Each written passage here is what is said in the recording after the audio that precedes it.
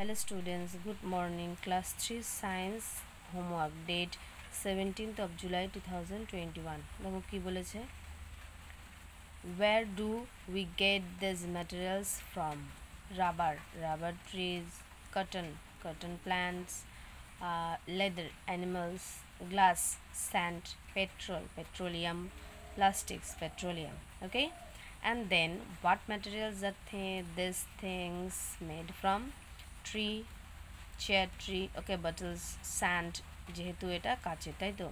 metal এসব plastics